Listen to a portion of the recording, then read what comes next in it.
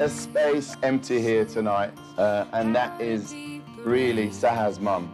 She left this world about three years ago, and she truly, truly was an amazing woman and still is an amazing woman. I only knew her 18 months and we got so close and we bonded so well. She had so much positive values that when I spent the time with her, I thought to myself, if Sahar had just 10% of her mum's values, she would make an amazing mother and an amazing wife. I have died every day waiting for you. Darling, don't be afraid. I have loved you for a thousand years. I love you for a thousand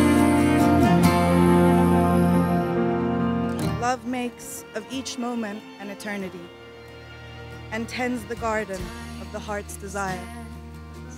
When love mocks, ruby tears fall heavy as pomegranates. And when love looks, it sees your deepest mystery. Love seeks out the tears of hidden hearts and turns not from the lovers of the dawn. Is there a remedy for the pain of love? Or is it too unbearable for thought? One taste of the medicine, and you will realize just how sick you have been.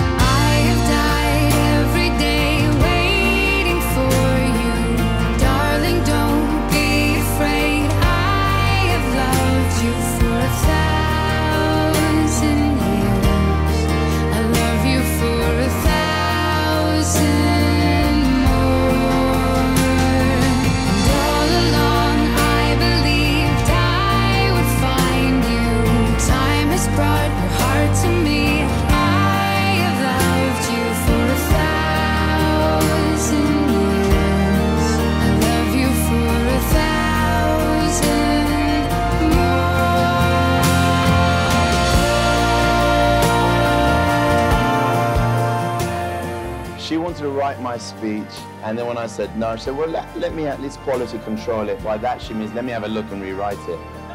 And I'll tell you why I didn't let you do that, Sahar. I didn't let you do that because I started writing this bit of the speech about five years ago when I first met you. And I started writing it because from the first day I saw you, I knew I want to be with you and nobody else. You are my best mate. You are my soulmate. And I love you dearly. I've died every day waiting for you. Darling, don't be afraid. I have loved you for a thousand years. I love you for a thousand